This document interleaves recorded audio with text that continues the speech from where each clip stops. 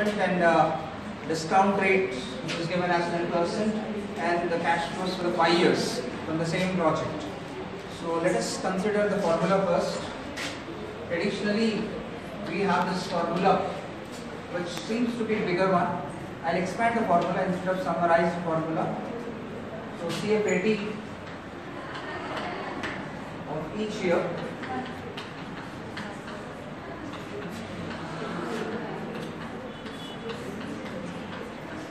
till the end of the project. Here it is uh, 5 years. So 50 years CFAT, cash flows after taxes for the 50 year. This will be your uh, cash inflows present values or present value of cash inflows. Right? Minus, inflows minus present value of the investment or outflows. PV of investment or cost of the project or outflow.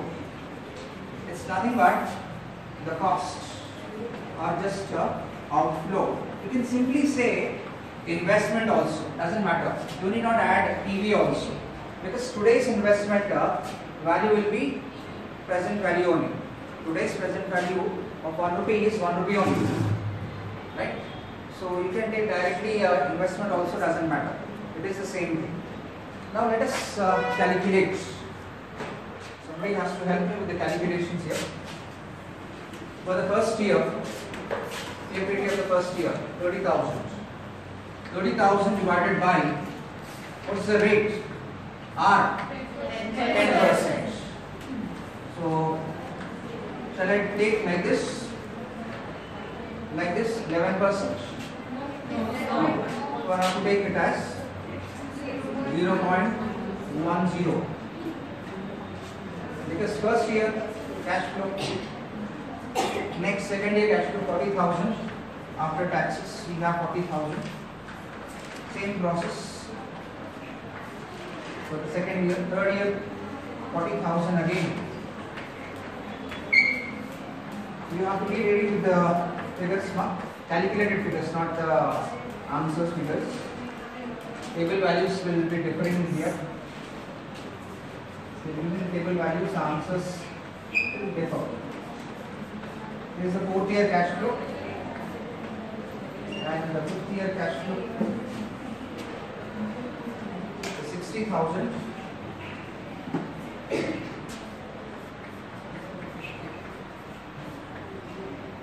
So minus investment it is given as 1.5 lakhs.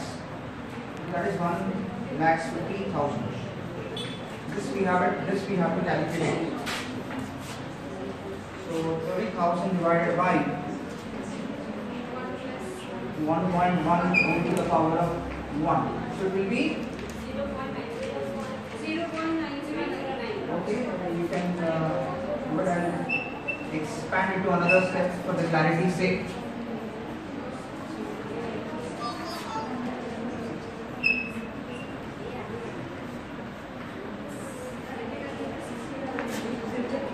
those who haven't uh, done the calculation sorry last one is 50,000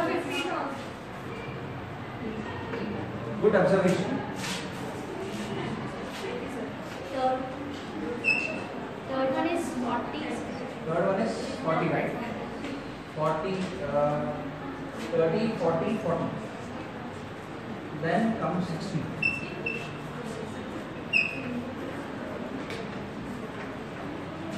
so 50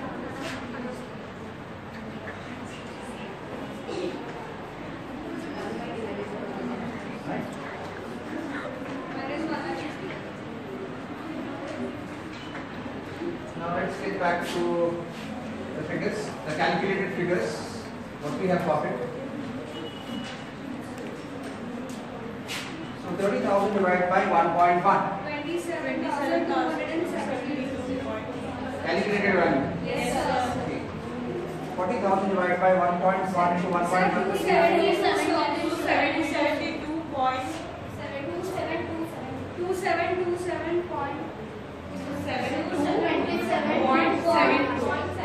7.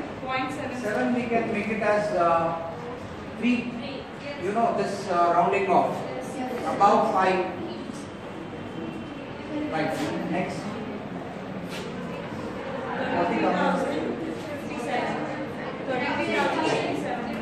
You know how to calculate this? Yes. Two times. 1.1 to 1.1. 1.21 we will get it. So 40,000 divided by 1.21. 33?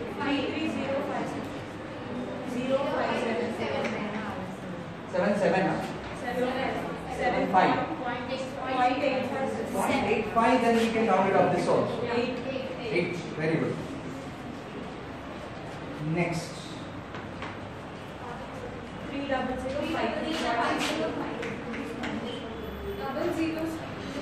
zero five two point Point 5 also we can expand.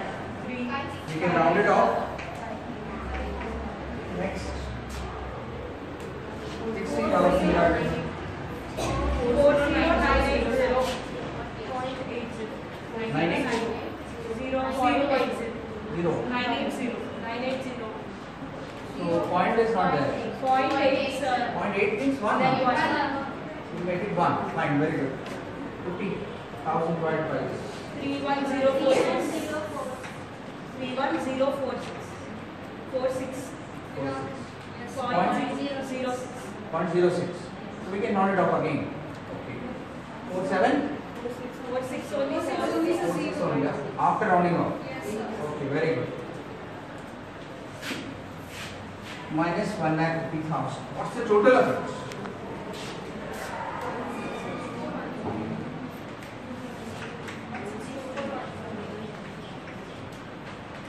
What's the total of it? This total. More than? Yes, ma'am? One six six two four double one four double one minus 1 lakh 50 thousand. 1 lakh 50 thousand is greater or 1 lakh 62 thousand is greater.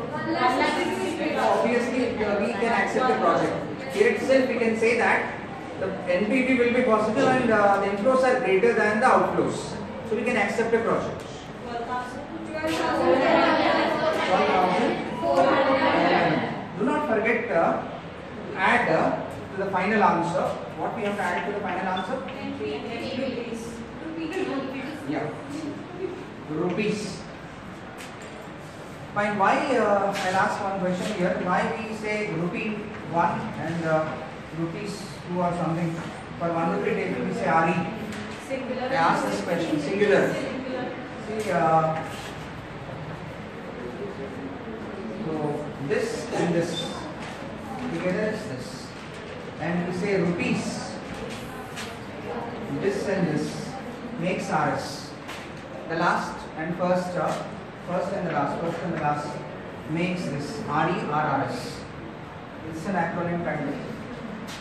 Okay, so we can accept a project when the NPV is positive. So here we have a positive.